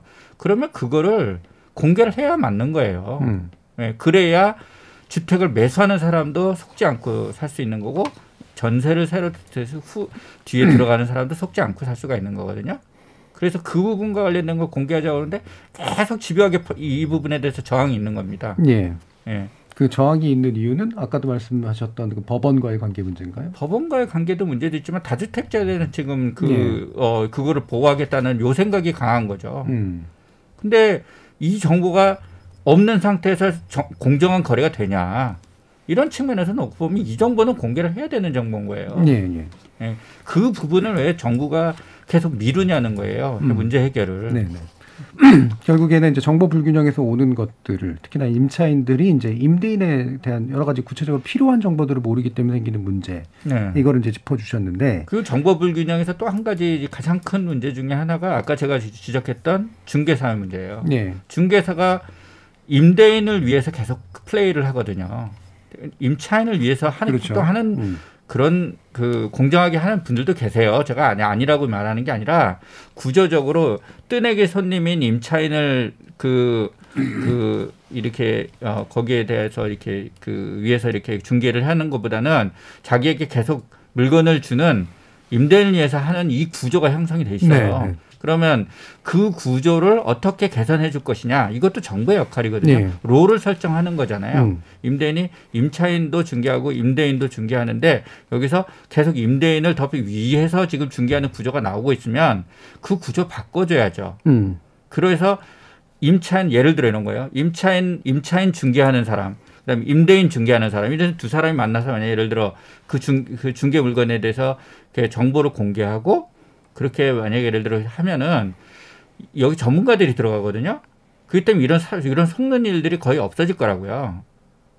근데 지금 임차인은 비전문가고 임대인은 전문가의 지원을 받아가지고 지금 이 중개를 하고 있고 이러면 이게 이게 그 공정한 그 그 그 균형이 생기겠냐는 거예요. 예, 예. 그런 측면에 이런 제도 개선들이나 이런 것들을 우리가 이게 근본적인 문제로 좀 짚고 예. 들어가야 된다. 예, 임대인에 대한 정보 공개 좀 더 전향적으로 해라. 그리고 실질적으로 중개사가 전문가로서 중개 역할을 해야 되는데 왜 임대인만 보호하는 또는 임대인 편에 서서 하냐. 근데 이 부분을 좀 짚어 주셨는데 어 저도 제 첫 전세에서 어 되게 안 좋게 마치고 나올 때 제가 중개인한테 뭐라 그랬던 게 당신은 왜 빌려주는 사람 편에서만 지금 이렇게 얘기하느냐. 적어도 중개하면 내 편도 좀 들어줘야 되는 거 아니냐. 약간 분쟁이 좀 있었거든요. 어, 그랬더니 난 아무것도 안 하겠다로 물러서는 그런 방식을 취했었는데 어떠세요? 최, 최 소장님이 보시기에 이 부분, 그러니까 임차인을 보호할 수 있는 그런 어떤 실질적인 방법은 법적으로는 장치가 임대차 보호법 뭐 이런 것 쪽에 있을지 아니면 다른 장치들까지 다 고려해서 좀 임차인 보호 장치를 만들어야 될지. 예, 지금 결국에는 이제 가장 이경문 변호사님이 말씀하신 걸 좀 요약을 해보면 음. 임대인과 임차인의 그 관계 자체가 매우 뭐라고 해야 되나 지- 저울로 치면 굉장히 기울어져 네. 있잖아요. 임대인보다 임차인은 굉장히 권리가 없는 상태인 거죠. 그러니까 권리가 정보도 내가 알아야 하는 반드시 알아야 되는 정보도 모르는 상태에서 계약할 수밖에 없게 지금 제도가 만들어져 있잖아요. 그러니까 세금 체납 정보 임대인이 체납을 하고 있는지 예. 그다음에 선순위 채권을 얼마나 가지고 있는지 뭐 다가구 주택 같은 경우에는 굉장히 선순위 채권이 많을 수 있는데 그게 내 앞에 몇- 얼마가 있는지도 전혀 모르는 깜깜한 상, 깜깜이 상태에서 이렇게 계약을 할 수밖에 제도가 만들어져 있단 말이에요. 그래서 이 부분을 이게 이렇게, 이렇게 불균형한 세입자와 임대인의 관리 관- 관리를 좀 평행하게 이게 지금 계약 당사자들인데 음. 지금 계약 당사자들끼리 너무 이렇게 불균형하니까 이런 문제가 제도 구조적으로 발생하는 거잖아요. 예. 예를 들면 이게 이- 이걸 제가 이렇게 생각해 보세요. 은행하고 임대인은 어 은행이 요구 요구하는 서류는 다 줘야 되잖아요. 그 어, 세금 완납 증명서 내라 그러면 당연히 낼 건데 임차인이 내라 그러면은 네. 안 줘도 그만이거든요. 지금 하긴. 정부 대책에서 이제 가장 문제점 중에 그렇죠. 하나는 요구해서 요구 어, 임대인에게 그런 의무를 부과하겠다라고 정부가 선언을 했어요. 그렇지만 그 선언을 지키게 할 수단은 없어요. 음. 근데 법적인 권리를 강화시키겠다라고 위에 써 있게 제목은 써 있는데 밑에 보면 요구하면 어 요- 요구하면 임대인이 저- 그 정보를 줘야 한다예요. 예, 예. 근데 줘야 할 의무가 사실은 없거든요, 음, 법적으로. 음. 안 주면 그만이에요. 내 체납 정보 안 줄 거야라고 하거나 임대 이내 선순위 보증금이 내가 얼마나 그 임대 보증금을 받고 있는지 안 줄 거야 하면 그만이거든요. 그걸 예. 정부가 알고 있는 상황인데 그러니까 그 문제를 세입자의 이 힘의 불균형 문제를 해소할 수 있는 대책을 만드는 게 굉장히 중요하고 지금 우리가 오늘 계속 얘기하면서도 정보가 얼마나 중요한지 얘기하고 예, 있잖아요. 예. 정보가 투명한 게 얼마나 중요한지 얘기하고 있는데 근데 임대차 3법 중에 하나가 뭡니까? 부동산 거래 신고 등에 관- 관한 법률로 네네. 이 정보를 다 신고하는 거잖아요. 음.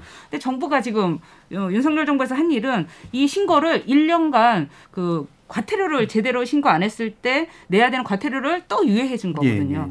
예, 예, 이게 지금 앞뒤가 안 맞는 거죠. 정보 투명한 정보가 중요하다고 하면서 임대차 3법을 뭐 전세대란 있지도 않은 전세대란을 공격하면서 음. 임대차 3법 중에 내용 중에 하나가 음. 지금 세입자의 지위를 그래도 정보를 투명하게 해줄 수 있는 그런 내용이었는데 뭐 이게 임대차 3법이 어떤 내용인지를 알고 이걸 이렇게 공격했나 싶을 예. 정도로 그래서 지금 이 전세 대책과 전, 전세 대책의 굉장히 중요한 축이 투명한 정보인데 그 투명한 정보 앱 앱을 만들려면 좋은 정보가 있어야 되고 그 좋은 정보는 임대차 신고를 제대로 했을 때 나오는 것이잖아요. 예, 결국에는 임대인과 임차인 사이의 정보 불균형을 해소할 만한 게 어, 되게 중요한 일인데 임대차 보호법 을 통해서 사실은 이걸 할 수도 있는데 네. 이거를 실질적으로 안 하려고 하는 어, 안 문- 안게 아니면 또 예. 연기해 놓은 거죠. 연기해 1년을 놓은 또. 거죠. 어, 또 한 가지 방금 말씀 들으니까 사실 또 약간 그, 그 느낌이 드는 게 있는데 실제로 돈 빌려주는 사람이잖아요. 음, 그렇죠. 임차인이 네, 어떤 면에서 네. 보면은 은행처럼 돈 빌려주는 사람인데 음. 은행이 요구할 수 있는 돈 빌려가는 사람한테 요구할 수 있는 정보에 비해서 돈 빌려주는 입장에 있는 임차인이 그걸 요구하지 못하는 상태. 음. 네. 뭔가 좀 이상하다. 네. 이게 사금융이라고 하더라도 어, 그 부분은 상당히 좀 설득력 있는 말씀이신 것 같아요. 자, 가불관계이기 때문에 그런 예, 거죠. 그러니까. 임차인이 을관계이기 때문에. 예. 그래서 이게 되등한 계약 당사자로 만들어지기 위해서 제도 개선이 꼭 예. 필요하다고 그러니까 임차인이 사실 돈을 빌려주는 갑일 수도 있는 건데 집을 빌려달라고 하는 을이 돼버렸기 때문에 생기는 예, 이런 문제이기도 한 것 같고 기존 관념에 상당한 변화가 필요한 것 같은데 자 이 말씀 들으시면 김 기자님은 어떤 생각이 좀 드세요? 어, 말씀하신 대로 지금 뭐 정보 불균형이 굉장히 심각하니까 음. 거기서 파생되는 문제인 건 분명한 것 같고요. 음. 근데 다만 이제 지금처럼 이제 또 전세 시장이 지금 약세고 이럴 때는 네. 또이 그렇게 집주인과. 세입자의 네. 또 처지가 또 바뀌는 그런 문제가 네. 있거든요. 근데 뭐 그거를 떠나서 이 두 분 말씀하신 대로 이 정확한 정보 공개 어, 정말 이 정보가 제일 좀 중요하고 세입자가 이 집에 전세를 들어갈지 말지를 결정하는 기준이 되는 거니까 그거를 굉장히 투명하게 하는 게 필요하고 그래서 정부에서 일단은 선언적이라 선언적이더라도 예, 뭐 아직 뭐 구체적인 뭐 시행 근거라든지 어떤 의무 규정 이런 건 없지만 어쨌든 그렇게 하겠다라는 거는 어 일단 좀 긍정적으로 보고 싶어요. 예, 예. 그럼 아까 또 이제 그 확정일자 그 하루 차이가 생기면서 생기는 문제들 아까 이제 그 이강훈 그 변호사님 이거 충분히 해결 가능한데도 그 방법을 고- 여러 가지 기관 간 갈등 문제나 이런 부분 때문에도 해결이 안 되고 있다 이런 얘기를 해주셨는데 김 기자님 보시기에 이런 확정일자 문제를 포함해서 취재한 전세 사기 문제를 좀 방지하기 위한 정부 대책으로 좀 이런 것들을 좀 신경 썼으면 좋겠다라고 하신 부분 좀 있을까요? 어, 이, 그, 아까 말씀하셨는데 사실 뭐 전입신고를 하거나 뭐 확정일자를 음. 하더라도 그 대항력이 생기는 건 현재 법적으로 이제 그 이게 다음날 0시부터 생기니까 그렇죠. 이 그, 그거는 그냥 어떻게 할 거냐 뭐 사실 뭐 당장 어떻게 나올 수 있는 건 아닌 것 같아요. 이제 뭐 음. 구조적으로 이게 안 된다고 하니까. 예. 어, 그러니까 뭐 그 문제는 있는데 그래서 지금 정부에서 나온 것도 특약으로 그거를 이제 해결을 하겠다. 예. 이제 무조건 이제 뭐 전세 계약을 할 때 밑에 특약에다가 어 이 그 하루 시차 가 발생하는 이 기간 동안에는 절대 뭐 대출을 뭐 근저당을 잡거나 뭐 다른 사람에게 뭐 매매를 하지 않겠다 뭐 이런 게 특약을 하겠다 이, 이건데 근데 이게 이 특약을 하, 하더라도 이게 뭐 물론 이 뭐 그게 뭐 법적인 권리를 뭐 가지긴 하겠지만은 말씀하신 대로 이게 뭐 이미 사기치고 나가면 사람한테 그거를 요구하는 게 무슨 의미가 있냐 뭐 좀그 그게 좀 문제인 것 같거든요. 음. 그 그거랑 그다음에 이제 또 보증을 받더라도 이 보증 기간에서 보증을 받더라도 이제 뭐 좀 전입 신고를 좀 늦게 하거나 이사 당일이 아니라 음. 전입 신고를 좀 늦게 해서 대항력이 더 늦춰지거나 그런 경우에는 또 보증 자체가 또 무효가 될 수도 있거든요. 음. 그리고 또 경우에 따라서는 뭐 어떤 사람이 뭐 직장은 뭐 지방으로 가서 어쩔 수 없이 잠시 전입 신고를 그 뭐 이사간 집으로 했는데 그런 경우도 이 사실 보증 요건에서 또, 또 탈락이 되거든요. 예, 그래서 이제 뭐 보증을 못 받는 경우도 있고 그래서 좀 보증을 했더라도 보장을 못 받는 경우도 있고 이게 어쨌든 세입자가 좀 마음을 졸이는 경우가 있으니까 음. 그런 부분들을 좀 세세하게 좀 안내를 하거나 아니면 어 좀 개선을 하거나 뭐 좀 그런 게 필요하다고 보입니다. 예.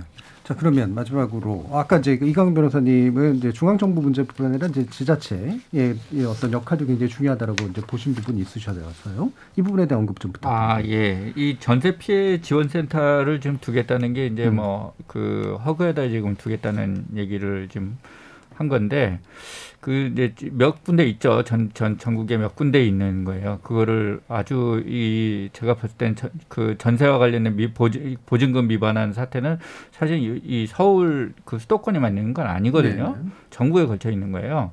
그러니까 사실은 이제 이 부분과 관련된 어떤 피해 지원이나 이런 것들을 이렇게 고려한다는 건 현장에 음. 밀착해야 되는 거고 현장에 어떤 자원이 있는지 그걸 동원해서 그 이분을 좀 지원해 줄 수 있는지 음. 이런 게 필요한 건데 어 그러려면 지방자치단체에 좀 더 밀착해서 예. 해야 되지 않겠나 이런 음. 생각이 들고 차라리 그거는 그 지방자치단체 특히 이제 뭐그 그 일정 규모 이상의 뭐 시에서는 이런 그 센터를 두도록 한다든지 뭐 이런 예. 식의 그런 구체적인 대책이 좀 있어야 될 것 같아요. 그래서 음. 너무 멀리 멀리 있는 그 허그에다가 이- 이거를 하겠다는 거가 이제 제가 보기에는 좀 그렇게 썩 좋은 대책 같지는 않아 보였습니다. 예. 그게 만약에 하려면 그러면 중앙정부에서 입법을 통해서 지자체에 설치하도록 하고 네. 그 재원을 뭐 지자체 예산을 쓰거나 아니면 구청정부가 지원해 네, 뭐 주거나 뭔가 지원을 어느 있죠. 정도 한다든지 이렇게 예. 해가지고 왜냐하면 지방 정부에서 이런 거를 엄두를 못 내는 게 그러니까요. 일단 예. 공무원을 둬야 되기 때문에 기존에 있는 공무원을 빼가지고 거기다 배치를 해야 되면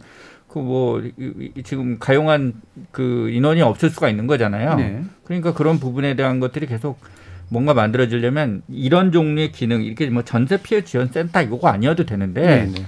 이런 종류의 업무를 하는 임대차 행정을 하는 기관이 있어야 되는 거예요. 근데 지금 지방 정부 그 역할이 없거든요, 거의. 음, 음.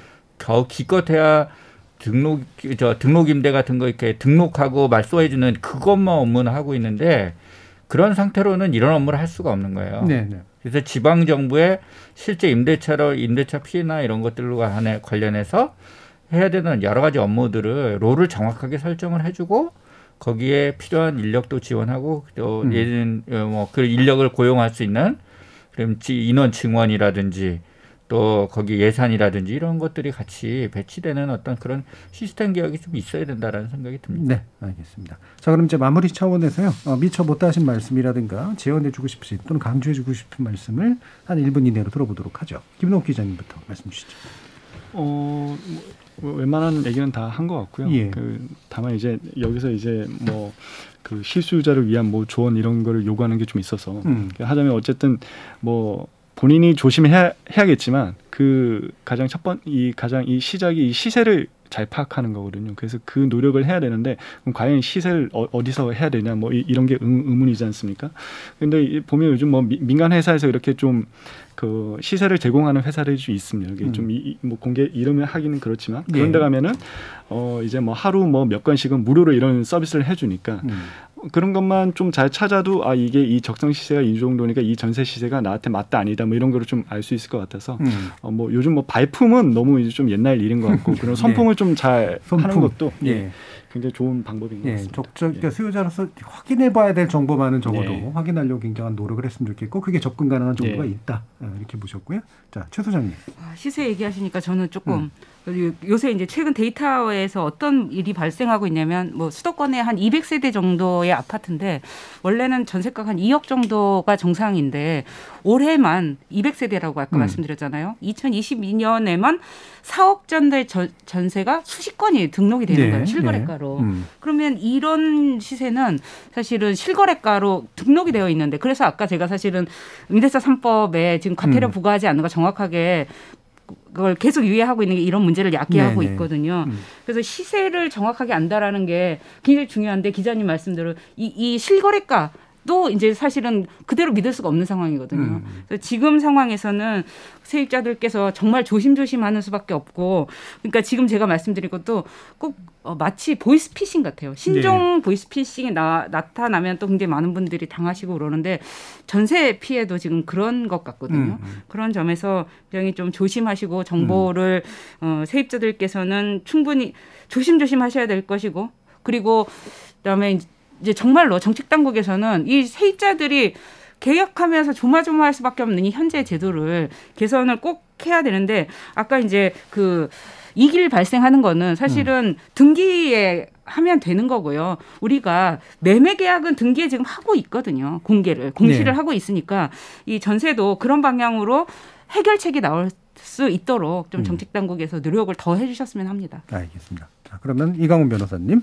네, 뭐 저는 뭐 할 말은 많지만 뭐 줄여서 저기 하면 그 아까 얘기했던 대로 이렇게 은행의 RTMS 권한을 부여하겠다 이런 식의 그 대책이 그렇게 이렇게 썩 썩 좋은 대책이 아니다라는 음. 어, 말씀을 드리면서 이게 우선 순위에 대해서 법적인 어떤 해결책이 나오는 방법이 아니거든요. 그러니까 우선 순위를 어가 문제가 된다면 그 우선 순위를 해결하는 합리적인 기준을 정부가 제시해 주는 그건 정부가 해야 될 진짜 역할이거든요. 네. 예. 그 부분과 관련된 공정한 기준이 음. 아닌 것 같다라고 사람들이 문제 제기하고 있는데 다른 대답을 내는 거거든요. 그래서 그 부분을 좀 해결해 줬으면 좋겠다. 그다음에 지금 정부와 정부에 대한 투명한 공개 이런 부분과 관련된 거는 이거는 어느 정부가 되든지 다 노력을 해야 될 부분이라고 생각이 돼요. 그래서 그 부분에 대한 어떤 그 정부의 책임과 역할 이런 것들이 좀더 그 좀 강조를 하고 싶습니다. 음, 알겠습니다. 자, 세 분 말씀 잘 들어봤는데요. 어, 오늘 어, 전세 사기에 관련된 문제 그리고 임차인 보호에 관련된 문제 함께 나눠봤습니다. 오늘 함께해 주신 최은영 한국도시연구소 소장, 김동욱 한국일보 기자, 참여연대 부집행위원장이신 이강훈 변호사 세 분 모두 수고하셨습니다. 감사합니다.